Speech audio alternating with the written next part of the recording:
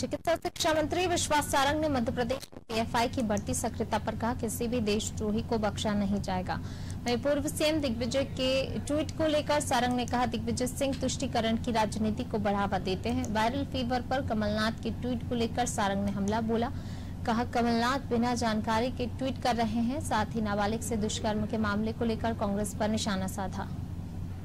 देखिए मध्य प्रदेश में किसी भी देशद्रोही को बख्शा नहीं जाएगा।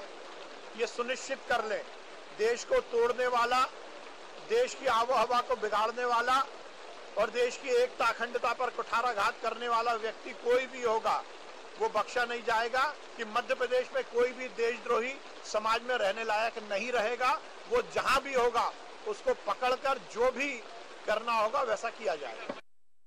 इस बयान के पीछे क्या मंतव्य है, ये हिंदू समाज जानता है।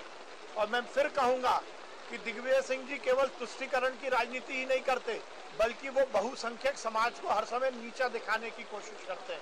और जैसा मैं पहले कहते आया हूँ कि वो पाकिस्तान परस्ती की राजनीति करते हैं उनका एजेंडा केवल और केवल इस देश के मान और सम्मान को अंतर्राष्ट्रीय स्तर पर नीचे दिखाना है। हिंदुओं को अपमानित करना है हिंदुत्व को अपमानित करना है और अपने तुष्टिकरण की राजनीति के माध्यम से केवल वोट बैंक की राजनीति करना है।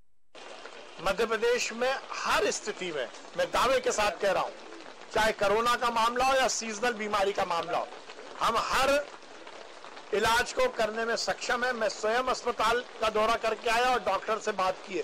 पूरे प्रदेश में, चाहे वो वायरल हो, चाहे वो डेंगू हो या कोरोना हो, हम हर तरह की बीमारी के इलाज के लिए सक्षम है और केवल इसी में नहीं हमारा डेंगू को लेकर जो लार्वा ना बने लार्वा इकट्ठा ना हो उसके लिए हमारे दूसरे विभाग चाहे वो नगरीय प्रशासन विभाग हो या हमारा ग्रामीण विकास विभाग हो वो भी काम कर रहा है। हम कटिबद्ध हैं मध्य प्रदेश में लोगों की स्वास्थ्य की चिंता करने के लिए। टारगेट भी कर रही है। देखिए बिना तथ्य के आरोप लगाना कौन व्यक्ति क्या है इसको लेकर किसी पार्टी से जोड़ देना ये कांग्रेस की पुरानी आदत है। मैं फिर कहते आया हूँ कि कांग्रेस के ट्वीट पर और कांग्रेस की सोशल मीडिया पर बातचीत करना बे, बेमानी इसलिए है कि वो उनका डेटी ट्रिक्स डिपार्टमेंट है।